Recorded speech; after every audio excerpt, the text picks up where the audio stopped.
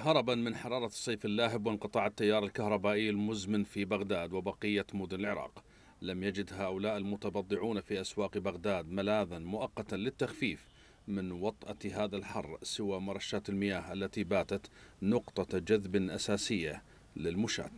اليوم جاي أتسوق بالبيت ماكو كهرباء وبالشارع ماكو كهرباء. وقفت على هاي برد روحي. متى تكفي لك الله فرفحنا يعني هذا الحر البشر ما يتحمله. هاي بطن مي يذب على روحك. توقف هنا شوية توقف هنا. خلف الله على الناس اللي مطلعة.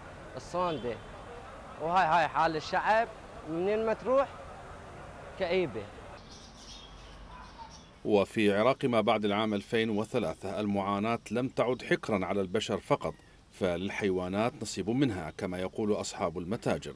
في ظل بلوغ درجات الحرارة نصف درجة الغليان. عندنا حيوانات مستوردة.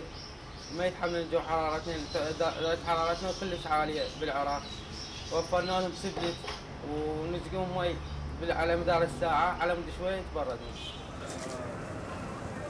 وفي حين تتباين طرق هروب العراقيين من جحيم الصيف اللاهب وانعدام أبسط الخدمات الأساسية ومنها الكهرباء رغم قلة خياراتهم لكن يستمر المواطن الذي أرهقته الأزمات الناجمة عن الفساد الحكومي بتحمل تبعاتها دون حلول حقيقية وجدية تلوح ولو في الأفق المنظور.